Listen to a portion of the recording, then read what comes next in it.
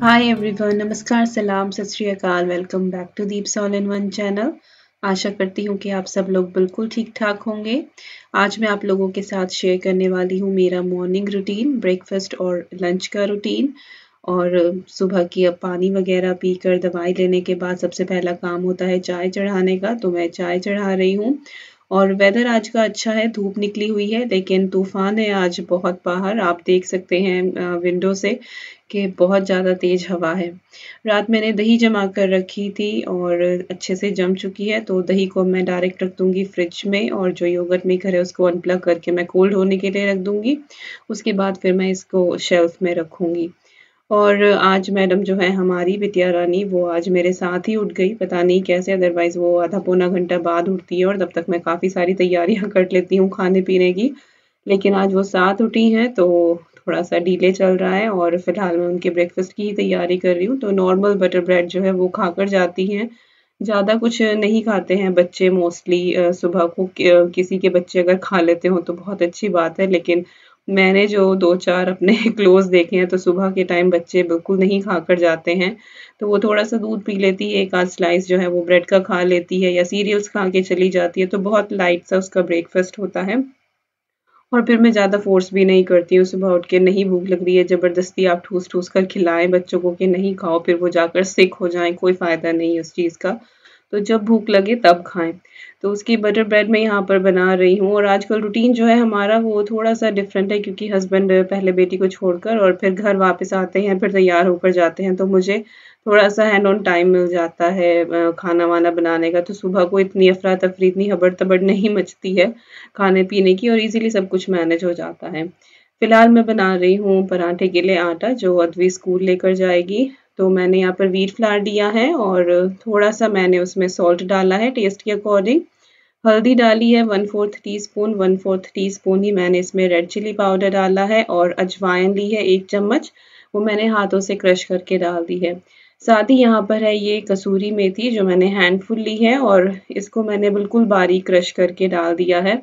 और बहुत ही सिंपल से ये पराठे बन के तैयार होते हैं और बहुत ही अच्छा इनका टेस्ट आता है। जो कसूरी मेथी होती है, इसका जो फ्लेवर है वो बहुत ज़्यादा एनहेंस कर देता है टेस्ट को और थोड़ी सी ही बहुत लाइक लॉन्ग लास्टिंग है ये स्मेल अगर आप फ्रेश मेथी लें तो जब तक अच्छे से पूरा बंच ना डालें तो टेस्ट नहीं आता है।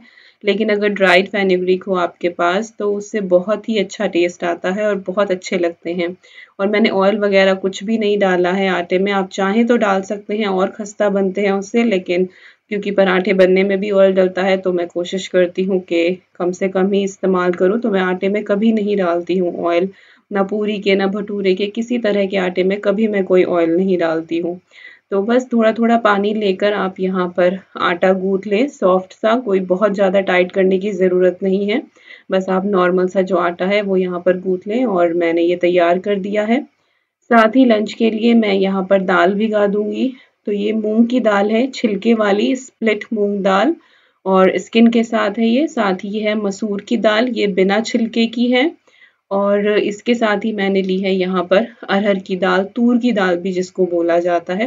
तो सारी दालें जो हैं वो मैंने एक एक चमचा ली है यहाँ पर एक एक लैडल और इनको अब मैं वॉश करके भिगो के रख दूँगी अच्छे से, ताकि जब मैं बनाऊँ दाल वगैरह तब ये अच्छे से फूल जाए।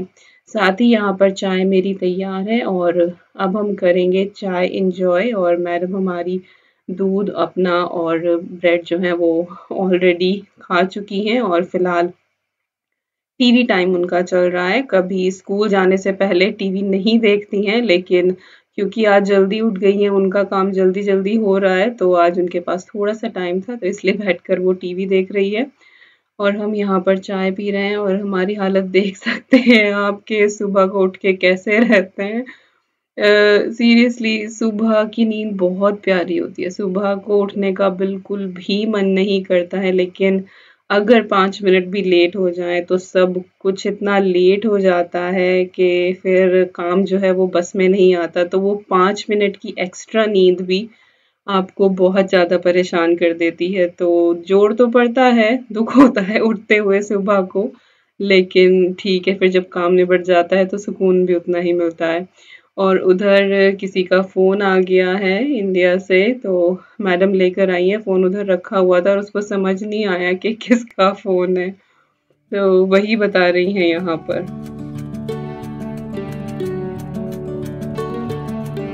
और अब स्कूल के लिए मैडम हमारी तैयार हो चुकी हैं और उसका पराठा मैंने बना दिया था, वो मैं शूट करना भूल गई थी क्योंकि फिर तैयार करना होता है तो बहुत जल्दी जल्दी रहती है। तो इसीलिए मैंने शूट नहीं किया, लेकिन आगे आपको दिखा दूँगी। और बस अब ये दोनों निकल जाएँगे, फिर हस्बैंड वापस आएँगे और फिर अपना जो है वो ब्रेकफास्ट वगैरह करेंगे और तैयार होकर तब निकलेंगे। और अब बाय बाय फिर मैं रह जाऊँगी अकेली। वैसे बाकी बहुत सारा काम है तो कहाँ टाइम चला जाता है पता ही नहीं चलता है। और अब बस सीधा किचन में, बाकी का सारा काम निपटाने के लिए और वेदर देख ही सकते हैं आप कि कितना ज़्यादा बेकार वेदर हो चुका है। I think 60 mile per hour था उस दिन। और इधर मैंने दाल की तैयारी शुरू कर दी है। प्रेशर कुकर चढ़ाया है। थोड़ा सा ऑयल डाला है मैंने उसमें और जैसे ही ऑयल गर्म हुआ है पिंच मैंने उसमें हींग डाल दिया है। साथ ही मैंने एक चम्मच जीरा डाला है cumin powder sorry cumin seeds और साथ ही मैंने यहाँ पर अनियन शामिल कर दी है। मैंने एक बड़ी अनियन दी थी, जिसको मैंने मैनुअल चॉपर में फाइनली चॉप कर लिया था। और जैसे ही अनियन हल्की सी आपकी ब्राउन हो बस कैरामलाइज सी ही लगे तो दो गार्लिक की मैंने बर्ड्स ली हैं यहाँ पर और उनको मैंने यहाँ पर ग्रेट कर दिया है। बिल्कुल फाइन सा ग्रेट हो जाता है। चाहे तो आप इसको कूट लें दोनों ही तरीके से सेम ही टेस्ट आता है तो बस मैंने यहाँ पर ग्रेट कर लिया था और मैं लहसुन हमेशा बाद में डालती हूँ, नहीं तो फिर जले हुए लहसुन की जो महक होती है, जो टेस्ट होता है, वो अच्छा नहीं लगता है। तो प्याज के बाद ही मैं हमेशा लहसुन डालती हूँ। साथ ही यहाँ पर मैंने धनिया पाउडर और हल्दी पाउडर ऐड कर दिया है और ये मैंने चार पाँच टमाटर की प्योरे बनाकर तैयार की थी तो आधी मैंने दाल में डाली है और आधी जो मैं सब्ज़ी बनाने वाली हूँ मैं उसमें ऐड करूँगी। तो अब इसके बाद आप इस मसाले को अच्छे से भून लें जब तक ऑयल जो है वो सेपरेट ना हो जाए और ये बिल्कुल खुश्क ना हो जाए। और जब आपका टमाटो अच्छे से ड्राई हो जाए, तब आप इसमें कश्मीरी रेड चिली पाउडर डाल दें या नॉर्मल रेड चिली पाउडर डाल लें। ये तीखी नहीं होती है और कलर बहुत अच्छा आता है इससे। साथ ही जो दालें हैं मैंने वॉश करके रखी थी, वो मैंने पानी निकाल के उनका वो सारी मैंने इसमें ऐड कर दी हैं। और तीन चमचे दाल थी तो उसमें मैं तीन कप के करीब पानी डालूँगी और बिल्कुल परफेक्ट दाल बनके तैयार होती है इसमें। ना वो बहुत ज़्यादा थिक होती है, ना ही बहुत ज़्यादा थिन होती है, बिल्कुल परफेक्ट बनती है। इसके बाद टेस्ट के अकॉर्डिंग आप इसमें सॉल्ट ऐड कर दें। मैंने वन टीस्पून फुल डाला है इसमें और इतना बहुत होगा इस दाल के लिए। और अब मैं प्रेशर कुकर की लिड लगा दूँगी और एक विसल आने तक इसको पकाऊँगी और उसके बाद मैं इसको सिम पे कर दूँगी। इधर मैंने पैन चढ़ा दिया है और अब मैं करूँगी यहाँ पर सब्ज़ी की तैयारी। तो कढ़ाई ली है और इसमें मैंने ऑयल डाला है और ऑयल मैंने थोड़ा सा डा, ज़्यादा डाला है क्योंकि इस सब्ज़ी में ज़्यादा ही डलता है ऑयल और बिना ऑयल के फिर इसमें टेस्ट भी नहीं आता है। साथ ही मैंने क्यूमन सीड्स डाल दिए हैं जीरा और दो अनियन जो है बड़ी वो मैंने थिनली स्लाइस करके रखी हुई थी। वो मैंने इसमें शामिल कर दी है और इनको बस आप हल्का सा गोल्डन ब्राउन कर लें। जो टिप्स हैं वो हल्की सी ब्राउन होने लगे। बहुत ज़्यादा आप इनको ब्राउन ना करें अदरवाइज़ फिर टेस्ट जो है वो डिफरेंट हो जाता है। उधर छोटे प्रेशर कुकर में मैंने राइस चढ़ा दी है और प्रेशर कुकर में कैसे राइस बनते हैं वो आप लोगों को ऑलरेडी पता है। मैंने पहले कई बार शेयर किया है। मैं लिंक डाल दूँगी डिस्क्रिप्शन बॉक्स में तो आप चेक कर सकते हैं। जैसे ही अनियन आपकी हल्की सी भुने, तब आप इसमें धनिया पाउडर और हल्दी पाउडर डाल दें और कपल ऑफ़ सेकंड्स के लिए इसको सॉटे कर लें। इसके बाद जो टमाटर थे, पिसे हुए रखे थे, वो मैंने इसमें शामिल कर दिया और इन टमाटर के साथ मैंने हरी मिर्च और अदरक भी पीसा था, जो शायद मैं दाल के टाइम पे बताना भूल गई थी। तो इसमें अदरक, हरी मिर्च और टमाटर जो हैं, वो सारी चीज़ें मैंने पीसी थी। और अब यहाँ पर मसाला मेरा बिल्कुल अच्छे से ड्राई हो चुका है, भुन चुका है ऑयल जितना है वो बिल्कुल सेपरेट हो गया है। इसी पॉइंट पर मैं यहाँ पर डाल दूँगी कश्मीरी रेड चिल्ली पाउडर तो सिंपल वही नॉर्मल मसाले होते हैं, लेकिन प्याज किस तरह से काटी है, किस तरह से टमाटर डाला है, ये सारी चीज़ें बहुत बड़ा डिफरेंस मेक करती हैं। तो इसमें जैसे मैंने प्याज लंबी लंबी काटी है तो इस सब्ज़ी में ऐसे ही टेस्ट आता है। अगर आप बारीक काटेंगे तो वो टेस्ट नहीं आएगा। तो हर सब्ज़ी को बनाने का एक अलग तरीका है। मसाले सारे वही हैं, लेकिन बस बनाने का तरीका अलग है। इसके बाद यहाँ पर मैंने डाल दिया है कटहल और ये फ्रोज़न कटहल है। मैंने रात को ही निकाल कर रख दिया था छलनी में तो ये अच्छे से थो हो गया था। तो ये हाफ़ कुकड आता है तो इसमें पानी वगैरह कुछ भी डालने की ज़रूरत नहीं होती है। अगर आप फ्रेश यूज़ कर रहे हैं तो आप एक चमचा पानी यहाँ पर या दो घूट पानी जो है, वो ऐड कर सकते हैं उसको गलाने के लिए। कुछ लोग प्रेशर कुकर में भी बना लेते हैं, लेकिन प्रेशर कुकर में फिर वो बात नहीं आती है। साथ ही आप इसमें सॉल्ट डाल दें टेस्ट के अकॉर्डिंग और इसको मीडियम हीट पर कवर करके रख दें। साथ ही मेरे जो चावल है, उसमें विसिल आ चुकी है और वो तैयार हो चुके हैं। तो मैंने गैस जो है वो बंद कर दी है उधर। दाल जो है मेरी वो सिंपल पक रही थी एक विसल के बाद और मैंने दो चार मिनट उसको सिंपल रखा है। उसके बाद हाई हीट पर करके मैं उसको एक विसल लगवा दूँगी और उसके बाद बस मैं इसको बंद कर दूँगी तो दाल का प्रेशर डाउन हो जाएगा। दाल और चावल मेरे दोनों तैयार हैं यहाँ पर। अब हम सब्ज़ी को भी एक बार चेक कर लेते हैं और बस आप इसको बीच बीच में चलाते रहें, देखते रहें, कहीं ऐसा ना हो कि जल ही जाए और जो कटहल है आप उसको काट के देख लें और बहुत ज़्यादा नहीं गलता है ये, थोड़ा क्रंची सा ही रहता है और बहुत अच्छा लगता है। तो सब्ज़ी मेरी ऑलमोस्ट तैयार है वहाँ पर और मैंने पराठे जो हैं वो बनाने शुरू कर दिए हैं और पेड़े जो हैं मैंने सबके पहले से ही बनाकर रख लिए थे और मैं गोली पराठे बना रही हूँ। बस हल्का सा ऑयल मैंने बीच में लगाया है और सारे किनारे उठाकर मैंने इसको दबाकर और फिर इसको मैंने बेलना शुरू कर दिया है। तो भले ही मैं अच्छे से एक्सप्लेन ना कर पाऊँ यहाँ पर, लेकिन इस क्लिप को आप थोड़ा सा आगे पीछे करके देख लें तो आपको पता लगेगा कि मैंने किस तरह से पराठा जो है यहाँ पर उसका पेड़ा बनाया है। और इससे पराठे जो हैं वो बिल्कुल फूले फूले एक एक पराठा आपका सारा फूल कर तैयार होता है और बहुत टेस्टी बनते हैं ये पराठे। दिस इज़ मस्ट ट्राई बच्चों के लिए बहुत अच्छे हैं, जैसे अदवी है, वो बहुत ज़्यादा ऐसी चीज़ें लंच में दो तो बहुत पिकी है, वो बहुत लाइक उसको ज़्यादा खाने पीने की चीज़ें पसंद नहीं आती हैं तो ये पराठा वो खा लेती है, उसको रोल बना के दे देती हूँ, साथ में सैलड दे देती हूँ, फ्रूट्स दे देती हूँ, योगर्ट रहती है तो इजीली वो खा लेती है और आराम से उस, जब उसका लंच बॉक्स फिनिश होकर आता है तो बहुत अच्छा लगता है। तो बस इसी पैटर्न पे मैं अपने सारे पराठे जो हैं वो बनाकर तैयार कर लूँगी।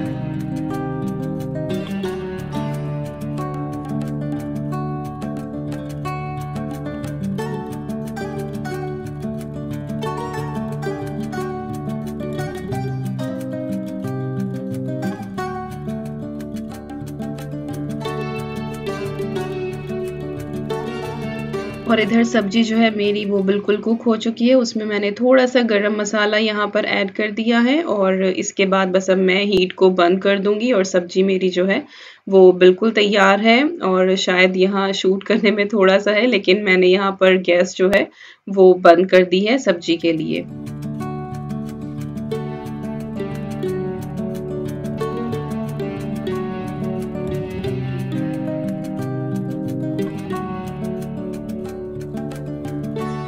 दाल भी यहाँ पर तैयार हो चुकी है प्रेशर डाउन हो गया है। इसमें अब मैं डाल दूँगी गरम मसाला थोड़ा सा और थोड़ा सा ही डालें। दाल में गरम मसाला उसी से टेस्ट जो है वो बहुत अच्छा आता है। और ये देखिए, दाल हमारी बिल्कुल अच्छे से तैयार है, बिल्कुल परफेक्ट इसकी कंसिस्टेंसी बनी है। और राइस जो है मेरा बिल्कुल खिला खिला राइस भी बिल्कुल तैयार है। अभी गर्म है तो इसको मैं अभी ऐसे ही छोड़ दूँगी ताकि इसके जो ग्रेन्स हैं वो सेपरेट हो जाएँ अच्छे से।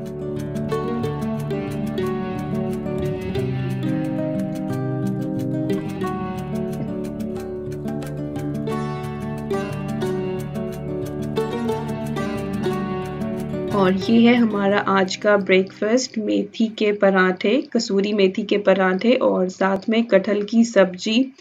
और इतने साल बाद कटहल की सब्ज़ी मैंने खाई थी, उस दिन शायद मैं पूरा दिन, हर दो घंटे बाद कट, कटहल की वजह से मुझे भूख लगने लगी थी। हर दो घंटे के बाद मैं एक पराठा निकालती थी और कटहल के साथ खा रही थी। तो बहुत बहुत टेस्टी बना था। इतने दिन बाद कोई अगर चीज़ मिले आपको और जो आपकी फेवरेट हो तो फिर कहने ही क्या, फिर उस दिन तो सारे खाने पीने डाइट शाइट की बैंड बज गई थी। मैं हर दो घंटे बाद जो था वो पराठा और कटहल खा रही थी उस दिन। तो अभी करती हूँ मैं इंजॉय अपना ब्रेकफास्ट उसके बाद करेंगे बाकी घर का काम। सारी साफ़ सफ़ाई इतने सारे बर्तन। सो मैनी थिंग्स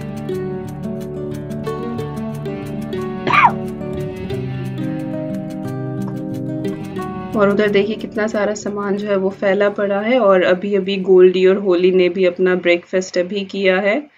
तो वो लोग भी इंजॉय कर रही हैं अपना ब्रेकफास्ट और इधर मैं अपना ब्रेकफास्ट इंजॉय कर रही हूँ।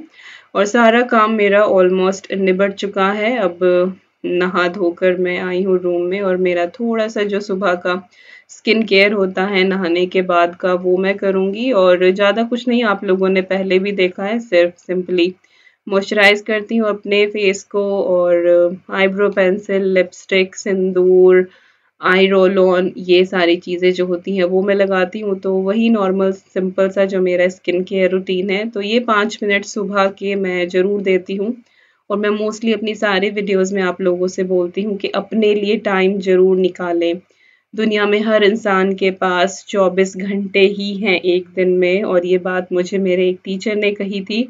और उस दिन से वो बात मेरे दिमाग में है कि सबको सिर्फ़ 24 घंटे मिलते हैं। ये हमारे ऊपर है कि हम उन 24 घंटों को किस तरह से यूटिलाइज करें, किस तरह से मैक्सिमम टू मैक्सिमम हम उन्हें यूज़ कर सके। तो उन 24 घंटों में से 10-15 मिनट अपने लिए ज़रूर निकालिए, अपनी स्किन के लिए, अपनी बॉडी के लिए, अपनी खुशी के लिए, अपनी हॉबीज़ के लिए।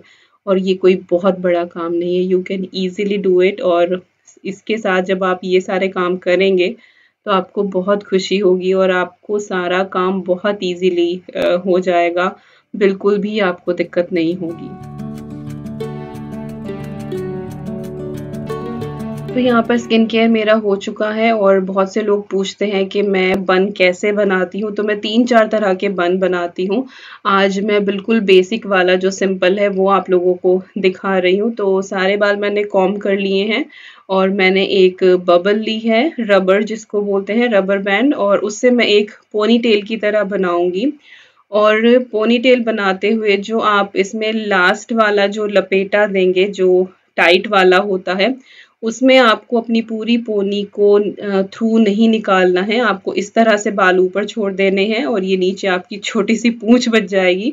इन बालों को आप उस, जो आपने ऊपर एक बन सा बनाया है, उसके नीचे फोल्ड करें और यहाँ पर आप इस तरह से क्लचर लगा लें। तो आपका बड़ा ही सिंपल सा जो बन है, वो तैयार हो जाता है। बहुत ईजी है। ठीक से समझ ना आया हो, जिस तरह से मैंने बताया तो क्लिप को थोड़ा आगे पीछे करके देखें, बहुत ईजी है।